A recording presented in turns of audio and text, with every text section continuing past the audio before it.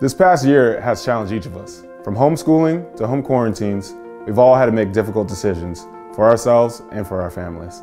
One choice I've never had to second guess is going to St. Joe's.